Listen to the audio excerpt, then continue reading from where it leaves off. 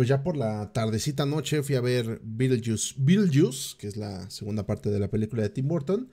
¿Qué te pareció el, el Beetlejuice 2? Me gustó, o sea, estuvo, estuvo buena. Digo, a ver si no, perdónenme, así soy yo, güey, pero eh, sí, le encontré pedos, le encontré, le encontré un problema muy específico. Bueno, le encontré dos. En primera, tiene muchas subtramas, tiene como, tiene tres subtramas principales y siento que la película no daba para tanto. De hecho, hay una de ellas que, si me permiten hablar con spoilers, voy a, ligeros spoilers, no voy a hablar eh, mucho de detalle, quizá porque es el primer fin de semana que sale, pero sí voy a dar algunos ligeros spoilers, ¿ok? Eh, tiene tres subtramas principales. Una, la que es referente a la hija de, de Lidia, que es eh, el personaje de Jenna Ortega, es la que me parecía la más interesante. Creo que pudieron haber jalado de esa para que la historia pues fuera eh, mucho más atrapante y pues no, no, no fue el caso, güey. Entonces, eh, pues eso, o sea, siento que pudieron haber jalado más de ahí. La verdad es que creo que la película hasta con el plot twist que tiene en la mitad estaba muy interesante y ya quería saber más, pero...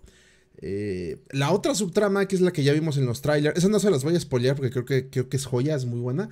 Lástima que se resuelve de una manera absurda, güey, pero bueno. La otra, que es la que se muestra en los trailers, la que trata de la, de la ex esposa de Beetlejuice, que es el personaje de Mónica Bellucci. Eh, me pareció un cero, un cero a la izquierda, o sea, no aportó nada. Creo que lo único bueno fue su presentación con la rola esta de Tragedy de los Bee estuvo, estuvo muy buena. Y te anticipan algo muy cabrón, dices, verga, este personaje va a estar brutal y no. Tiene dos, tres, cuatro, cinco apariciones, creo, pero son apariciones muy cortas, no termina aportando nada a la historia. El conflicto ni siquiera está basado sobre. O sea, la verdad, creo que ese es el problema de la película. No entiendo como tal cuál es el conflicto. Porque les digo, o sea, creo que todo lo referente a Jan Ortega era como el que realmente más llamaba la atención, pero quisieron agarrar de aquí y de allá. Y la otra sí, esta sí se las spoiló, porque pues, es, es literal otra vez el planteamiento de la primera que retoma un poco de este sentimiento que tienen las secuelas tardías actualmente, ¿no? Que es tratar de replicar lo más posible elementos de la película original. Y pues aquí, si bien tiene muchas cosas diferentes, que eso fue lo que me gustó, pues vuelve a usar el, el Beetlejuice, se quiere casar con Lidia, güey. Entonces, la neta, pues sí me pareció muy, muy de, bro, tenía, tenías cosas muy buenas como para... Y luego aparte eso también se resuelve con un Deus Ex Máquina que sí fue como, ¿qué?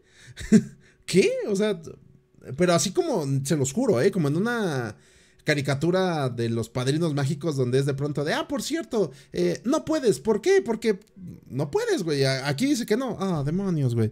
Como un capítulo de Los Simpson cuando decían, eh, y los niños fueron salvados por eh, Moe, por ejemplo. O sea, así, así tal cual termina, termina la película. Quiero suponer que su estilo de comedia le, lo justifica, pero, pero es que la primera no se sentía así. ¿Sabes? Entonces, pues bueno, son los únicos pedos que tengo. De resto me gustó mucho, o sea, tanto Michael Keaton, no mames, el vato todavía no se le notan los años encima, el güey sigue increíble. También Winona Ryder se rifa bastante y Jenna Ortega me gustó mucho su personaje. Sea, me agrada porque es totalmente lo opuesto a lo que era su mamá en la original, que pues ven que era una gótica, fan del obscurantismo y demás, y esta no. Esta también le gustan un poquito las cosas extrañas, pero no cree en fantasmas, es es más escéptica. Entonces está interesante porque justo lo que pasa con su personaje es más... Tiene, tiene más gracia, diría yo. Entonces eso fue lo que me agradó. Eh, y de resto creo que pues me, gustó. O sea, creo que era lo que yo esperaba de una secuela de Beetlejuice. Obviamente. Les digo nada más el final, pues, eh, pero me agradó que exploraron más el otro mundo. O sea, esta parte de la burocracia todavía se mantiene de una forma muy graciosa. Eh, me agrada cómo representan las muertes de los personajes. Obviamente, bueno, sabemos perfectamente que, que este Tim Burton tiene la, tiene el afán de que, pues normalmente cuando dice, ah, no, es que tal personaje se murió y pues obviamente lo hace con un tono cómico. Así que, pues eso, o sea, sí la recomendaría, me gustó bastante, está muy chistosa. Mm, sí, una parte en la que vi que una familia sacó a su niño. Yo creo que le estaba dando un poquito de cosa. Porque hay momentos, obviamente, ya saben, ¿no? Pues es Tim Burton que, que alguna gente quizá le pueda parecer así como de, uh. Pero, pues no, pues es una película divertida. O sea, y tiene muchos chistes cagadísimos, güey. O sea, creo que sí me reí. Me reí bastante. Vi mucha gente que decía que Beetlejuice le, rebajaron el tono. Y yo no lo sentí así, yo lo sentí igual de puerco, de, de descarado, de caricaturesco. O sea, no, yo, no lo sentí diferente. O sea, el, vato igual sigue, sigue mirándole el culo a las morras, sigue... Hay una parte en la... Bueno, no, no hay que espolear, pero... se sigue siendo grotesco. Por los efectos especiales el vato puede hacer más cosas. Entonces, pues yo no noté la verdad que lo rebajaran. No sé de dónde salió ese, ese pedo. Pero... Pero pues sí. Entonces, se los recomiendo chicos. Está, está buena. A mí sí me gustó. Y pues no sé. Yo digo, mucha gente dice que Tim Burton no había hecho buenas películas en décadas. Sí creo que el señor perdió mucho el toque en un buen rato. Todavía diría yo que Fracking Winnie está buena, pero pero así se nota que ya ya había perdido como un poquito ese gancho con la gente y eso que siguió con ese tema de, de cositas oscuras, tenebrosas con comedia, güey. Entonces, ¿qué tal el doblaje? Mm, estuvo bueno, digo, obviamente tenía todas las voces diferentes o sea, ya era un doblaje mexicano. Tengo entendido que. Ay, ¿cómo era? No recuerdo si la original era doblada en Colombia o. No recuerdo, pero yo escuché ese doblaje desde, desde niño. Entonces estaba acostumbrada a la vieja voz de Beetlejuice. Pero ahorita, la verdad, René García rifa, güey. Pues también, obviamente, Winona tiene a Cristina Hernández, que pues ya estás acostumbrado a escucharla con esa voz. Entonces, mm, bien, o sea, la verdad, muy bien. La, única voz que, que, no me entró fue la. Se me olvidó cómo se llama. Y este actor sí lo topó, güey, pero. La que le pusieron. Si alguien sabe, ahí póngalo en el chat. La que le pusieron a William Dafoe. Que su personaje, no mames, güey. Está bien cagado ese cabrón, güey. es, una, es un vato que murió actuando. Entonces, pues el güey todo el tiempo está pensando en cómo hacer que la. Que, la, que la toma quede, güey. Pero pues, está cagadísimo, güey. Entonces ese personaje sí me gustó. Nada más que no tiene la voz de Jesse Conde. Entonces, digo, sé que hay películas donde no le ha dado voz Jesse Conde, pero no sé por qué en esta siento que le quedaba perfecto y no. No sé, como que no, no me entró, pero aún así el personaje está chingoncísimo, güey. Entonces, el doblaje me gustó. Está, está buena. Está, digo, en general, términos generales, la, la película está chida.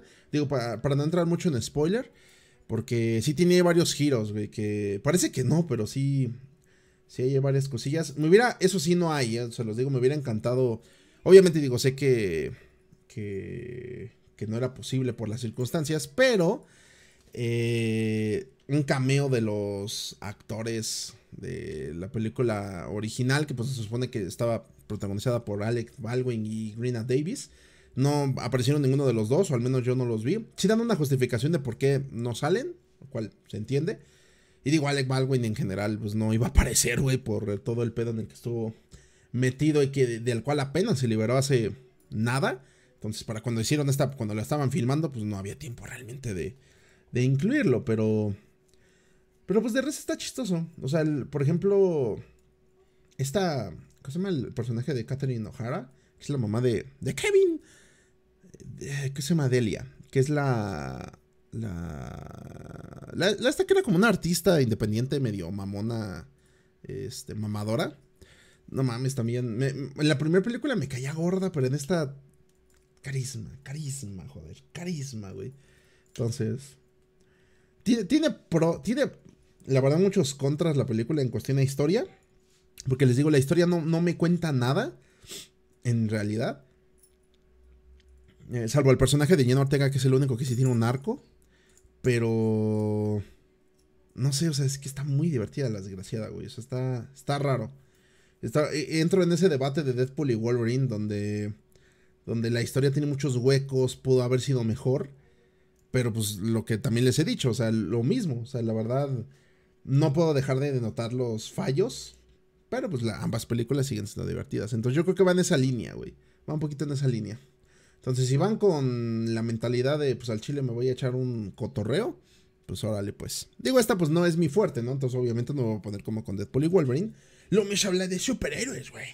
Pero aún así, pues sí, tienen que saber que sí tiene varios fallos ahí que. que. que pudieron haber mejorado. O sea, siento que no te arruina la película, pero pudieron haber prestado más atención para que fuera más divertida, güey. Pero fuera de eso, no, no hay pedo. Recomendada, caballero.